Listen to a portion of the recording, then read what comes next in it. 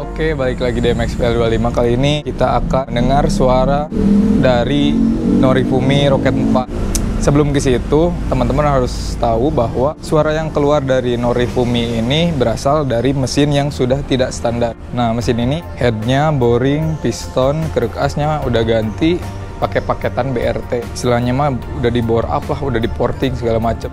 Udah di setting juga ecunya. Untuk teman-teman yang masih pakai mesin standar, kayaknya Norifumi Rocket 4 ini nggak nggak bakal cocok karena sebelum motor ini ganti masih pakai standar pernah nyobain pakai Norifumi ini jadi mendem powernya jadi berkurang begitu jadi untuk yang nanti upgrade mesin teman-teman saya sarankan untuk pakai Norifumi ini Nah, untuk yang belum, saya sarankan jangan pakai Norifumi ini.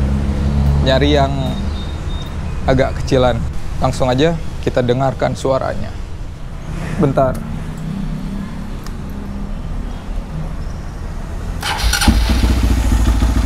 Nah, suara idealnya seperti ini.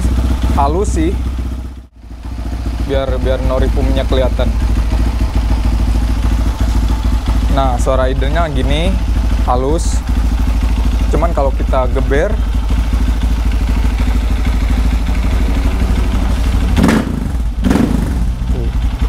keluar kan kede, kerasa powernya. Kalau nggak pakai Norifumi Rocket 4 kayaknya nggak bakal gini suaranya